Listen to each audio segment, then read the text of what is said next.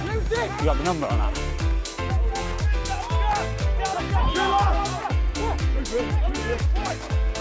Thank you. Let's hold that, Mark.